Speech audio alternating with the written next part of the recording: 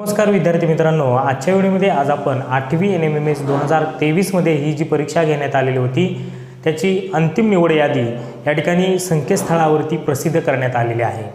तर काल एका विद्यार्थिनीने फोन केलेला होता की मला सर एकशे दोन मार्क आहेत मी जळगाव जिल्ह्यामधून आहे आणि मी ओ बी सीमधून आहे आणि मला चांगले गुण मिळूनसुद्धा माझं त्यामध्ये नाव नाही आणि शहाण्णव ब्याण्णव मार्कवालेसुद्धा त्या ठिकाणी लागलेले आहे तर त्या विद्यार्थिनीचं नाव हे ओपन कास्टमध्ये आलेलं आहे कारण तिनं ओपनचं मेरिट क्रॅक केलेलं आहे आणि त्यामुळे तिला चांगले गुण असल्यामुळे त्या यादीमध्ये तिचं नाव होतं. तर अशा पद्धतीने असं जर अजून काही विद्यार्थ्यांचं घडलं असेल तर त्यांनी या पद्धतीने चेक करायचं आहे ओपन कास्टमध्ये जाऊन आपलं नाव आहे का ते चेक करा.